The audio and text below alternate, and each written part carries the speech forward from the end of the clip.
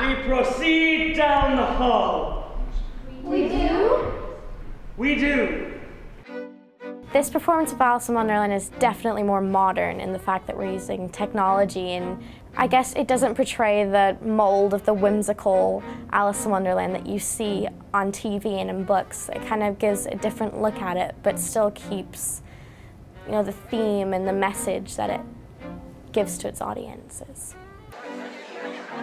It's been crazy, this production, though, because it's really pushed us to our limits creatively, but also physically. There's a lot of physicality involved in it. A lot of it's kind of scary, being up on things, you know, going downstairs, upstairs, and it's been really interesting, though, and probably one of the most innovative things I'll ever be involved in.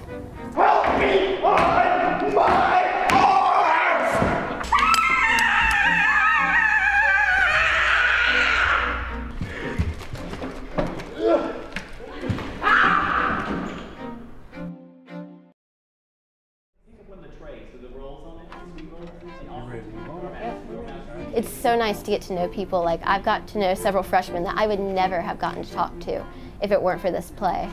And it's really nice to be in such a creative, open environment where you feel like you can try out anything and you can do anything and you're not going to get judged for it.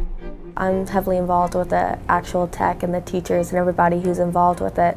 And I like costume design and sewing and all that stuff, so I figured that it would be a good way to get involved with the school and meet new people and generally, you know, do my part to contribute to the play. Theater is something I really appreciate and really want in my life.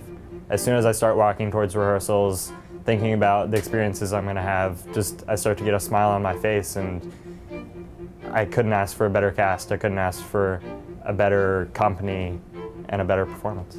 No.